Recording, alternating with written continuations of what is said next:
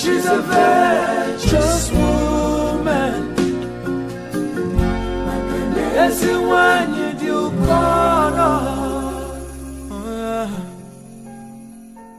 Mm-hmm.